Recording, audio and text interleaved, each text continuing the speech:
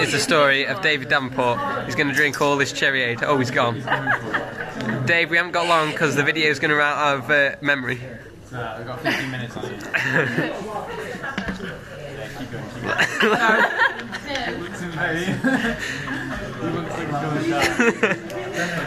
He couldn't hack it. He could not hack it. The day is over for David Davenport.